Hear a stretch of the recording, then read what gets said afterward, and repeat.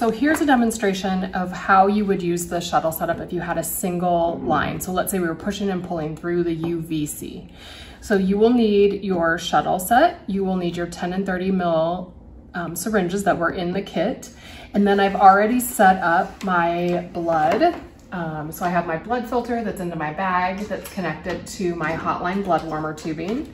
And then I have it primed with my blood all the way to the end with that extension set that came in the kit. So just as a reminder, this extension set and this blood filter come with this um, exchange tray. So to do a single um, line exchange, you're still gonna put your syringes on these two ports so just as a reminder, the 10 goes on the same side as the green syringe or the green stopcock. And your 30 goes on the other one. And then this is gonna stay connected together. Your donor blood, all that tubing is gonna connect at this end. So that'll go here. Your drain bag, which also comes with the kit, is gonna hook up at the top um, on this side that also has the green stopcock. And then this one is gonna connect to your UVC.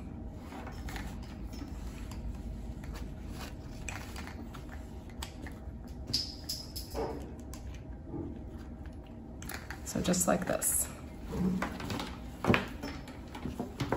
So I'm gonna first draw my waste from the baby. So I'm gonna turn this stopcock off to my donor blood. And I'm gonna pull back on my UVC and pull whatever waste that I wanna draw from my baby. So five mils, whatever the aliquot is that they're, they're drawing back. Once I get that drawn back from my baby, I'm gonna turn the stopcock kind of like off to everything except for my waste bag. And I'm gonna push my blood into the waste bag.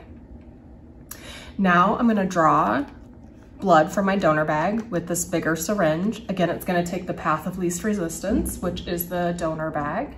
So I'm gonna draw my blood up from there, making sure that everything's unclamped. I have my five mils of blood and now I'm ready to give this to the baby. So I'm gonna turn my stopcock off to my drainage bag.